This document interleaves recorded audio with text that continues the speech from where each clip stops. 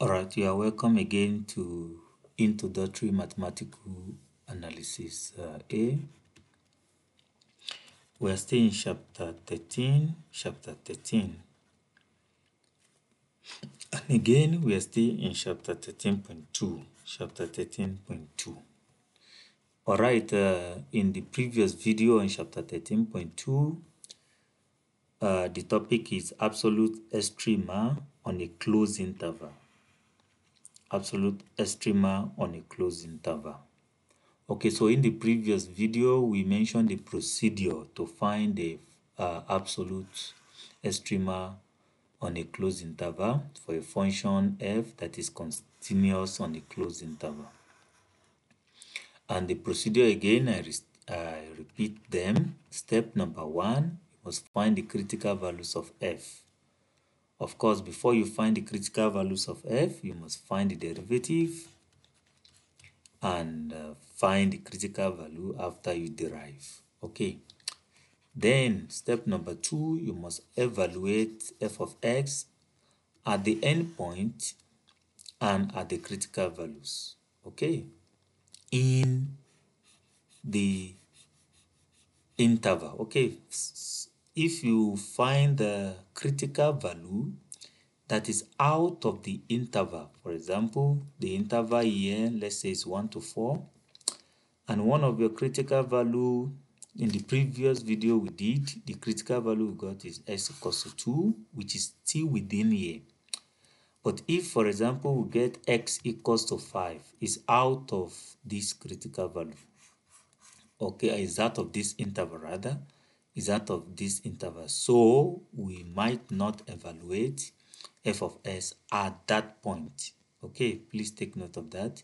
We can only evaluate it at the critical values if the value of the critical value is within the interval. Is within the interval. Okay. Then step number three, we find the maximum value, which is the greatest value, and the minimum value, which is the least value okay? All right so let's take example. Example number one we want to find find the absolute find the absolute extrema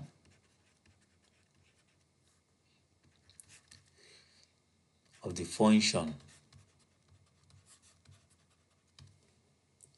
the function f of x equals to 2 over 3 x raised to power 3 minus 3 over 2 x raised to power 2 minus 9x plus 5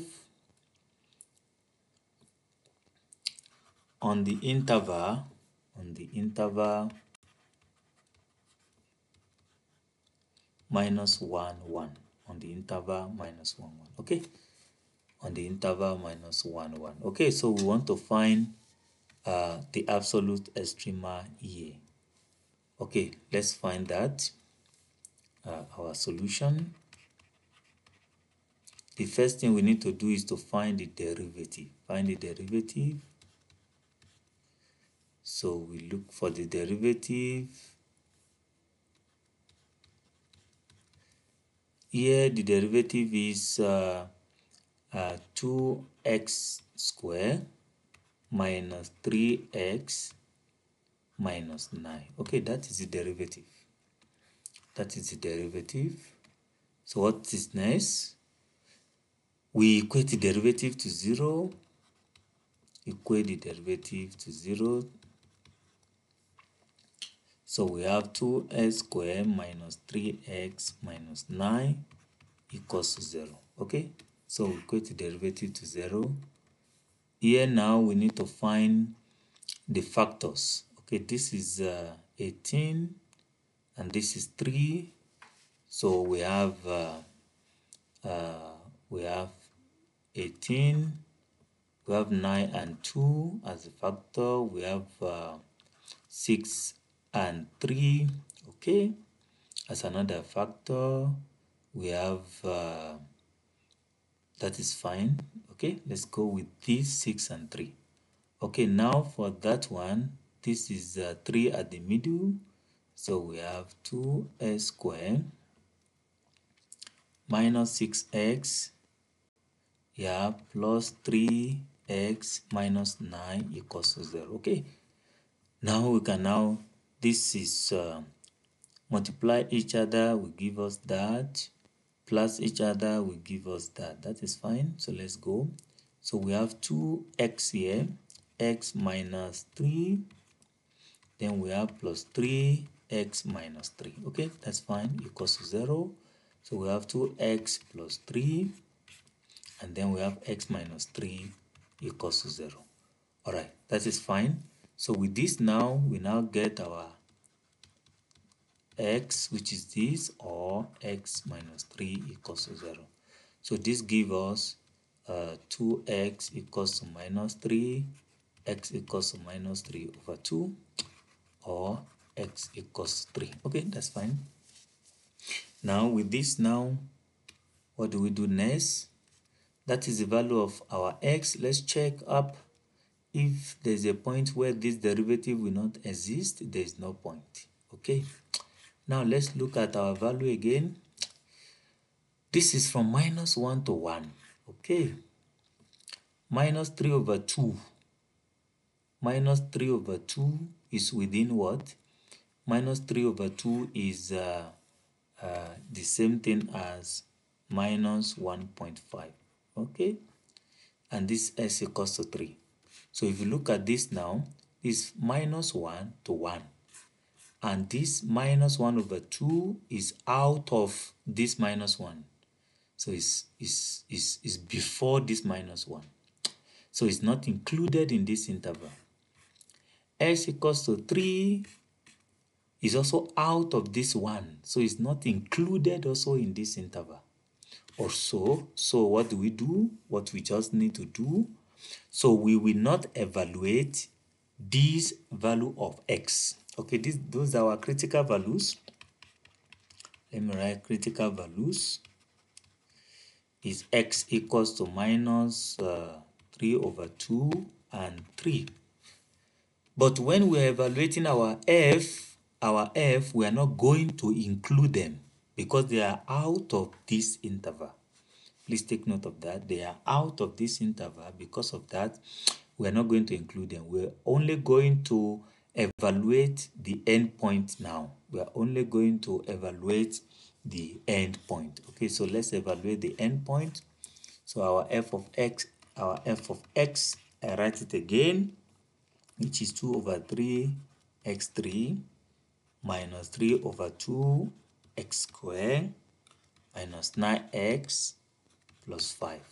So now I need to evaluate only the endpoint because these are not part of this interval. They are outside this interval.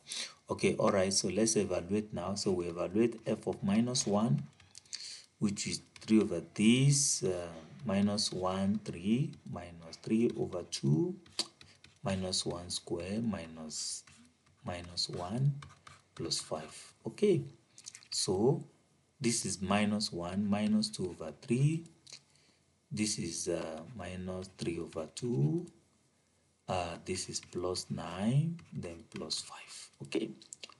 So uh, we have uh, this is um, this is 6 okay? This is 6 this here 2 4 minus 4 minus this is 3 minus 9 okay? Plus plus 14 okay? Plus 14 all right so with that now we're going to be having minus 13 over 6 plus 14 all right plus 14 so we have that. Let's find f of 1 f of 1 will be 2 over 3 1 3 minus 3 over 2 1 square minus 9 1 plus 5 okay with this one now we are going to be having uh, this is 2 over 3 this is minus 3 over 2 this is minus 9 plus 5 okay this give us it's the same 6 but this time around this is 4 and this is minus 9 okay then this is plus or minus rather this is minus minus 4 okay all right so let's go. So this now give us this is minus 5 now. Minus 5 over 6 minus 4 okay surely this is negative and this is positive. Okay so it means the maximum is this one this is the maximum and this is the minimum. So this is absolute maximum and this is absolute minimum. Okay please ensure that you understand we did not include again let me reiterate we did not include these critical values we have because they are out of this interval that is given so you will not evaluate the critical value when they are out of the interval you will only evaluate the critical value when they are not out of the intervals. Please take note of that. Ensure that you take note of that. All right? Make sure that you take note of that. Thank you.